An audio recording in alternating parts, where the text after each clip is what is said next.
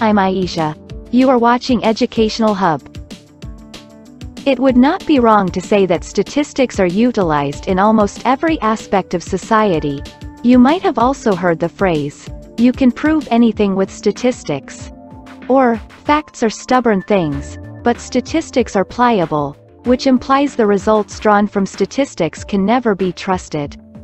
First we need to understand, what is statistics? Statistics is the branch of science responsible for rendering various analytical techniques and tools to deal with big data. In other words, it is the science of identifying, organizing, assessing and interpreting data to make inferences about a particular populace.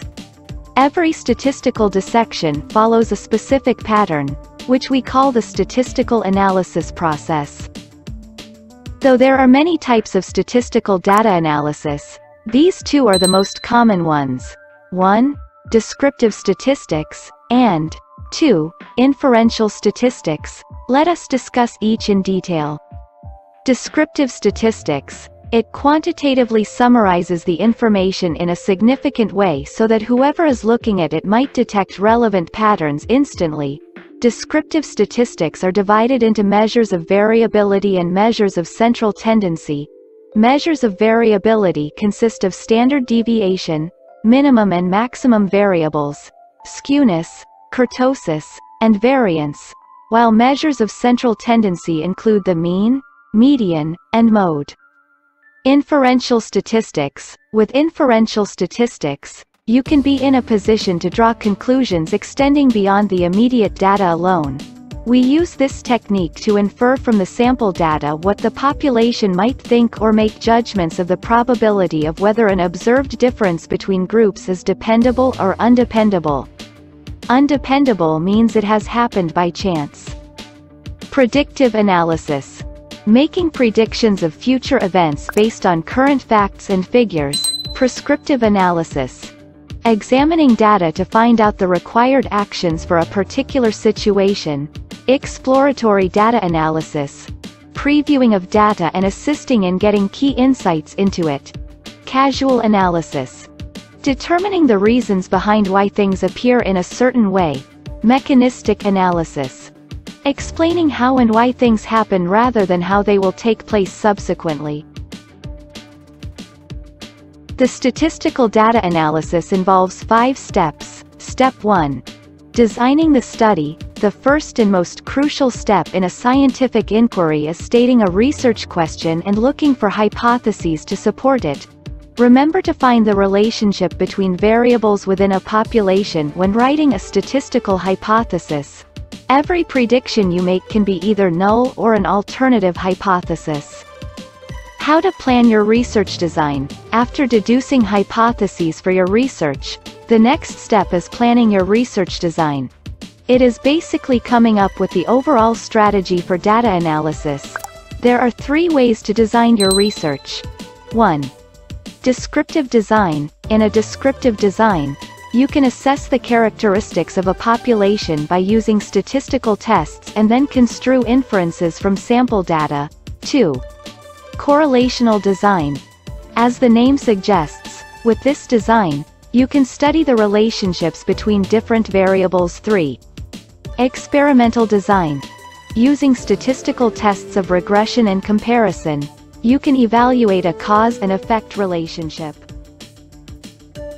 Step 2. Collecting data. Collecting data from a population is a challenging task. It not only can get expensive but also take years to come to a proper conclusion. This is why researchers are instead encouraged to collect data from a sample. Sampling methods in a statistical study refer to how we choose members from the population under consideration or study. If you select a sample for your study randomly, the chances are that it would be biased and probably not the ideal data for representing the population. This means there are reliable and non-reliable ways to select a sample. Reliable methods of sampling, simple random sampling. A method where each member and set of members have an equal chance of being selected for the sample. Stratified random sampling. Population here is first split into groups then members are selected from each group. cluster random sampling. The population is divided into groups, and members are randomly chosen from some groups. Systematic random sampling. Members are selected in order the starting point is chosen by chance, and every nth member is set for the sample. Non-reliable methods of sampling. Voluntary response sampling. Choosing a sample by sending out a request for members of a population to join. Some might join, and others might not respond, convenient sampling. Selecting a sample readily available by chance.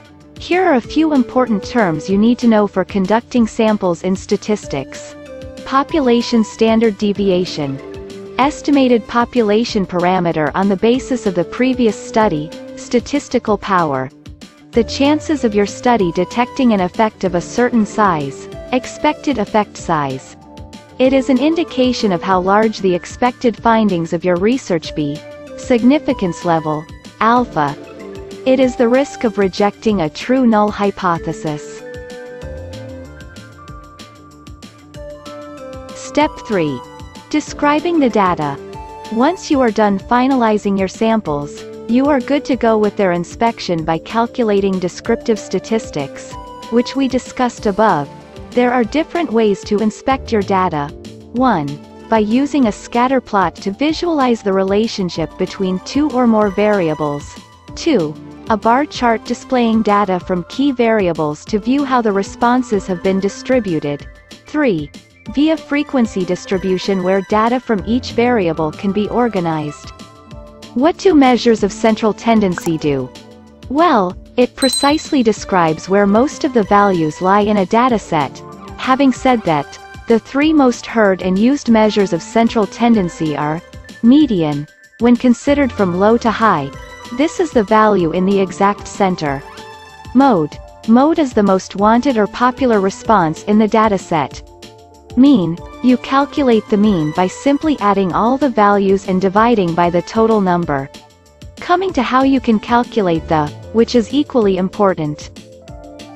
Measures of variability. Measures of variability give you an idea of how to spread out or dispersed values in a dataset. The four most common ones you must know about are standard deviation, the average distance between different values in your dataset and the mean, variance, variance is the square of the standard deviation, range, the range is the highest value subtracted from the dataset's minimum value, interquartile range, interquartile range is the highest value minus lowest of the data set. Step 4. Testing your hypotheses. Two terms you need to know in order to learn about testing a hypothesis.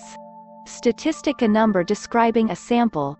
Parameter a number describing a population. Statistical tests let you determine where your sample data could lie on an expected distribution if the null hypotheses were plausible. Usually, you get two types of outputs from statistical tests. A test statistic, this shows how much your data differs from the null hypothesis. A p-value. This value assesses the likelihood of getting your results if the null hypothesis is true. Step 5. Interpreting the data, you have made it to the final step of statistical analysis, where all the data you found useful till now will be interpreted. In order to check the usability of data, researchers compare the p-value to a set significant level, which is 0.05, so that they can know if the results are statistically important or not. That is why this process in hypothesis testing is called statistical significance. Thank you for watching, like share and subscribe my channel for more informative videos.